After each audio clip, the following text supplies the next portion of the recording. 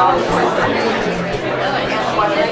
absolutely thrilled that you're here um, because I think it's just a beginning of our work together. I think this is really filling, filling a huge gap there because a lot of people have no idea how to get a food product onto the market in, ma- in, in mass. This is a fantastic opportunity for people to take their product and take to the next level. When you're supporting local food, you are supporting your, your, your own economy, you're supporting the environment, you're supporting your neighbor. How can we help those businesses grow?